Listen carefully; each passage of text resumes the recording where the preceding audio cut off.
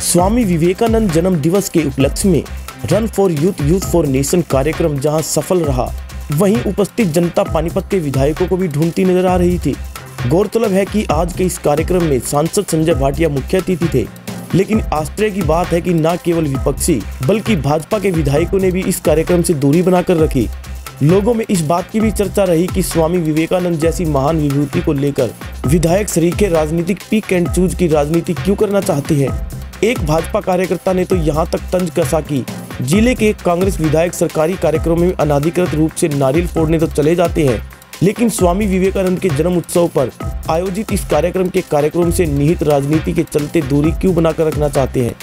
बावजूद इसके, जबकि उन्हें प्रशासन द्वारा आमंत्रित किया जाता है हैरत की बात यह भी है कि भाजपा संगठन के बड़े पदाधिकारी व भाजपा विधायक भी कार्यक्रम से गायब नज़र आए। गौरतलब है कि हरियाणा प्रदेश के मंत्रिमंडल में नाम न आने को लेकर भी एक विधायक के समर्थकों ने सांसद पर सार्वजनिक उंगलियाँ उठाई थी।